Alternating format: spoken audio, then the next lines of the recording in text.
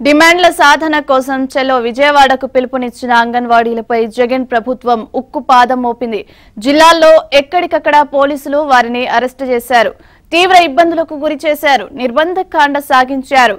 ఇక అంగన్వాడీల గొంతు నొక్కడం దుర్మార్గమని బీజేపీ మండిపడింది.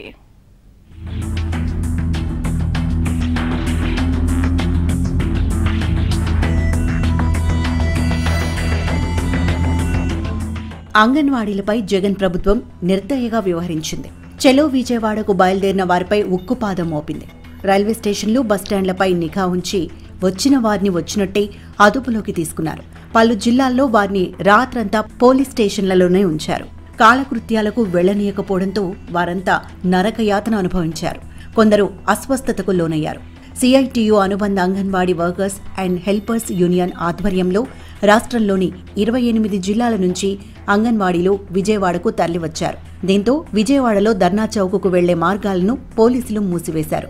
ధర్నాలో పాల్గొనడానికి వచ్చిన అంగన్వాడీలను ఎక్కడికక్కడ అరెస్ట్ చేశారు. దూర ప్రాంతాలకు చెందిన అంగన్వాడీలు ఆదివారం రాత్రే విజయవాడకు చేరుకుని ధర్నా చౌక్ చుట్టుపక్కల బస చేశారు. అక్కడి నుంచి దఫాదఫాలుగా ధర్నా చౌక్ రావడానికి ప్రయత్నించగా పోలీసులు వచ్చిన వారిని వచ్చినట్టు అరెస్ట్ చేశారు. వాహనాల్లో వివిధ పోలీస్ స్టేషన్లకు తరలించారు. కొంతమంది అంగన్వాడీలు ఏలూరు రోడ్డుపై బైఠాయించడంతో వాహనాలు స్తంభించిపోయాయి.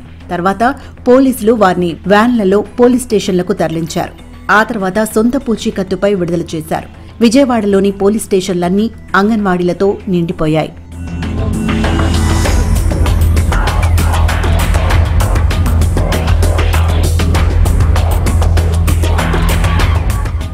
కాకినాడ జిల్లాలో అంగన్వాడీల పట్ల పోలీసులు పాశవికంగా వ్యవహరించారు.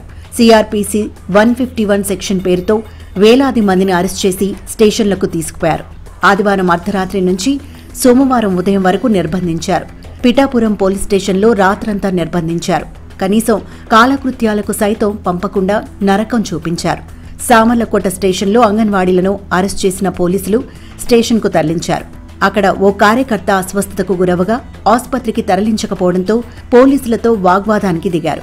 పోలీసుల తీరును నిరసిస్తూ పెద్దాపురం కరప గండేపల్లి తదితర మండలాల్లో పోలీస్ స్టేషన్ల ఎదుట మహిళలు ఆందోళనకు దిగారు. నెల్లూరు నుంచి వస్తున్న అంగన్వాడీలను రాజుపాలెం చెక్పోస్టు వద్ద పోలీసులు అడ్డగించారు. విశాఖ జిల్లా వ్యాప్తంగా పలువురు అంగన్వాడీ సిబ్బందిని పోలీసులు గృహ నిర్బంధం చేశారు. దీనికి నిరసనగా అంగన్వాడీలు రాస్తరోకో ర్యాలీ చేశారు.